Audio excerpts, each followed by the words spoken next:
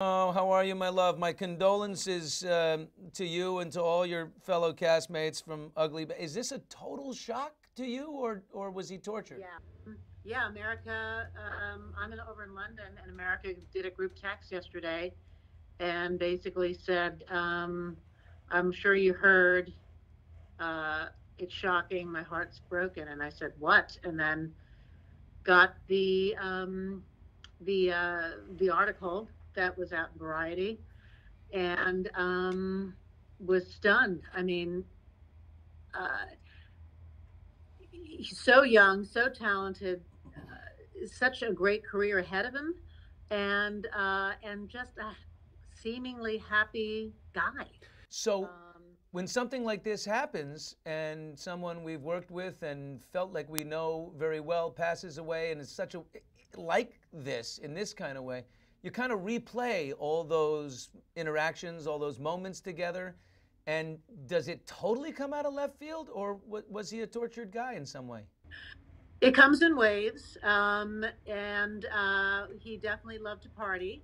Um, that was my first concern. Okay. Uh, but he also, you know, had a behemoth of a show when we were working uh, on our four seasons of Ugly Betty together. And he was brave. He's the one that, I mean, I wasn't even in the um, original cast of Ugly Betty, and I had they had the first table read, and they go, "I need Vanessa Williams," and he's the one who called the network and said, "I need to get her," and I literally got the phone call and showed up in the uh, in the wardrobe trailer the next day because he insisted on it. So he was he let uh, actors do what they do best. He let um, showrunners, um, not showrunners, but producers and directors uh, think out of the box.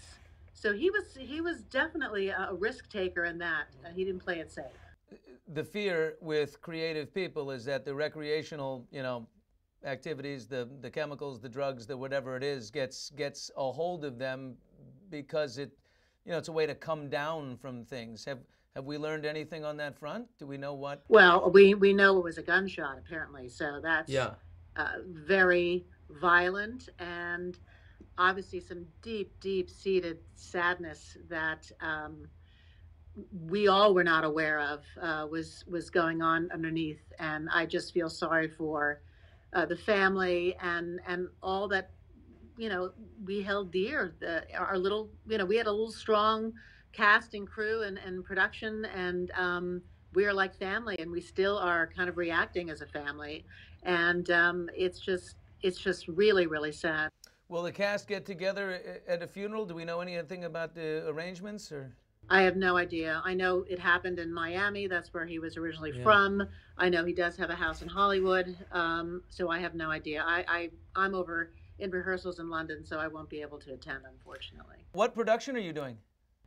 I am doing City of Angels um, uh, at the Garrick Theater uh, musical, and uh, it's uh, it's a 1940s um, uh, musical that hasn't been done on Broadway for about 30, 30 or 30 or so years. So uh, this is the West End production, and um, we just, we just started rehearsing this week, and I'm really excited. So will you live in a hotel for several months? Is that the way it goes? No, uh, for the first couple of weeks, and I'm looking at places right now. So I'll be moving into an apartment, a flat over here, and enough room for my kids to visit and bring friends.